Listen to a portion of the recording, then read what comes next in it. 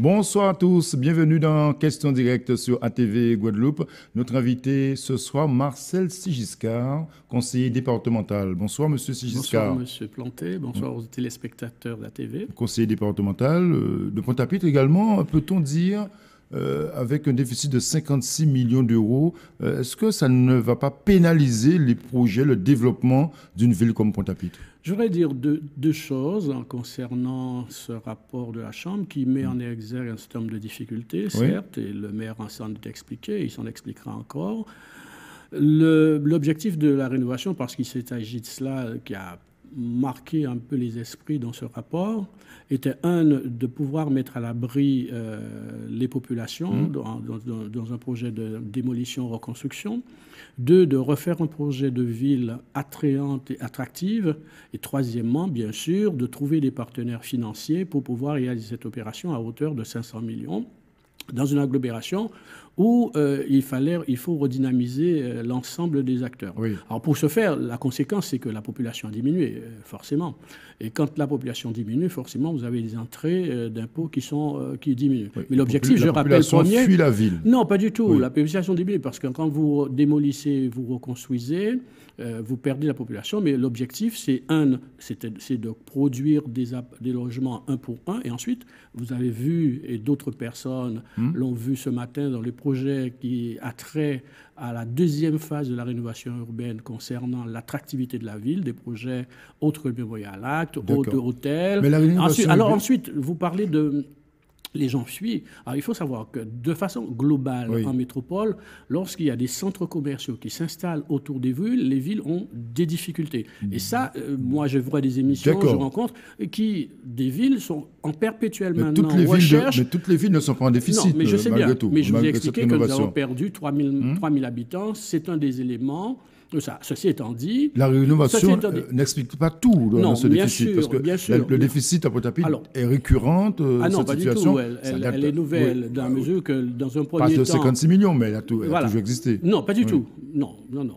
2015, le rapport de la Chambre des régionales des comptes fait euh, sortir un déficit de 20 millions, dont une partie du fonctionnement. Et pour pouvoir régler ce problème, il nous appartient, hmm. et le maire s'en est expliqué, de faire des efforts oui organisé pour pouvoir réduire le fonctionnement, pour que nous puissions retrouver des marges de manœuvre en, matière d'autofinancement. Parce que pour pouvoir réinvestir, réinvestir, il faut de l'autofinancement. D'accord. Et pour ce faire, il y a des, des, marges de manœuvre que nous avons commencé à, sur lesquelles nous avons commencé à travailler. La rénovation, euh, d'accord, mais on parle souvent de redynamiser la ville malgré tout. Il y a, la rénovation, mais il y a aussi le, le cadre de vie, l'animation de la ville. Là aussi, vous, êtes souvent, vous, dire, vous êtes souvent attaqué au niveau de la municipalité. Non, mais je, sais bien parce que je crois que les gens voient mm. la ville qu'uniquement par le bout du centre-ville, qui est important, qui est un centre-ville historique. C'est le... Tout à fait, mais quand vous regardez le boulevard de l'amitié des peuples, de la Caraïbe, avec le front de mer qui vient d'être bâti, avec l'installation d'une grande pharmacie, de super rue,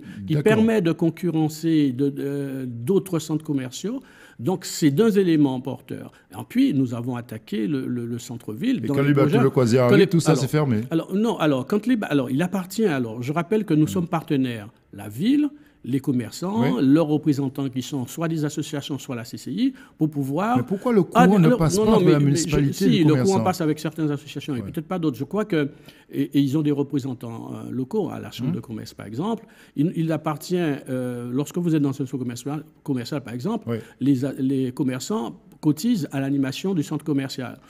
Donc, moi, j'étais membre du SMT, par hum. exemple, pour pouvoir animer la ville, il faut aussi que les commerces puissent s'ouvrir et qu'ils améliorent leur chaland. Moi, j'ai vu là, dans le dernier week-end où ils ont ouvert, il y avait de, très bons commerces, il y avait d'autres qui étaient moins bons. Je crois qu'il y a une réflexion sur la qualité. Pour la, nouvelle, pour la nouvelle saison touristique Bien sûr, je, pense que ça, ça, ça, participe à l'attractivité de la ville, que vous puissiez venir, vous trouver un magasin qui, où vous pouvez acheter un beau costume. Mais quand les commerçants, les commerçants, par exemple, nettoient leur quartier, comme dimanche dernier, et que le maire puisse dire, bon, il, faut qu'ils restent dans leur magasin plutôt qu'aller nettoyer la ville, ça passe mal. Mais écoutez, nous avons, nous avons un service, et moi j'ai beaucoup participé lorsque nous avions des comités de quartier au nettoyage de la ville. Donc ce n'est pas un phénomène nouveau. D'accord. Et c'est un phénomène qui me semble de, de, de toute citoyenneté. Effectivement, ce jour-là, il eût été préférable d'ouvrir le commerce parce que moi, j'étais au centre-ville où je faisais le point euh, parce qu'il y avait un bateau de tourisme, mais j'ai vu des touristes qui, dansaient sur le style de Silban. Il y avait des magasins là, ouverts. Vous, allez vous en sortir. C'est ce que vous nous dites. Ce, soir, c'est le message de la municipalité. Absolument. je, crois qu'il faut être euh, lucide. Nous avons euh, un objectif à atteindre qui est un de finir la rénovation urbaine à l'horizon 2020 et de travailler déjà, c'est ce qu'il fait, sur la rénovation urbaine 2. Autre dossier, autre dossier, euh, Marcel Chiziska, le dossier de l'eau. Euh, à l'Office de l'eau, ça y est, euh, vous avez retrouvé votre vitesse de croisière.